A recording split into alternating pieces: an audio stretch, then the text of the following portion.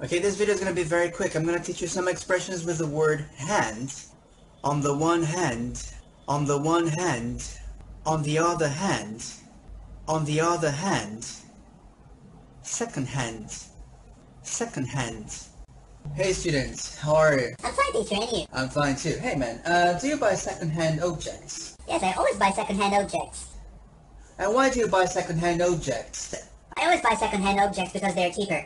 What about you, teacher? Do you buy second-hand objects? No, I never buy second-hand objects. Why not, teacher? They're cheaper. Yes, but on the one hand, second-hand objects are cheaper, and on the other hand, their quality is highly questionable. Okay, so on the one hand, second-hand objects are cheaper, but on the other hand, their quality is highly questionable.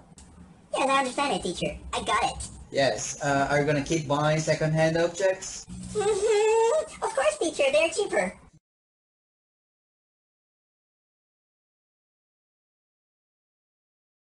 Do you think I'm a cat? I'm not a cat. I'm a lion. A sexy lion.